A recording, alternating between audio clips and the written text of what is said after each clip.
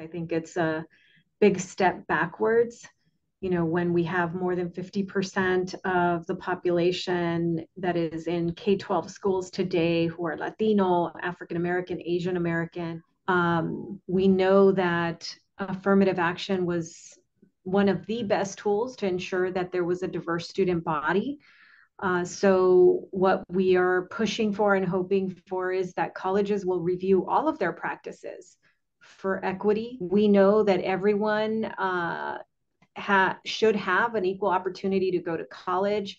I also know that talent is everywhere in every zip code, in every skin color, across every community, and everybody deserves that opportunity to, to go to college. And we'll keep fighting um, for We're that. Not going to go back. We're not going to accept a you know return to the 1940s or 50s uh, when uh, colleges blatantly discriminated against women, against uh, African Americans, against Jewish Americans, against Latinos and Indigenous folks um, at their campuses. So, so we will be watching.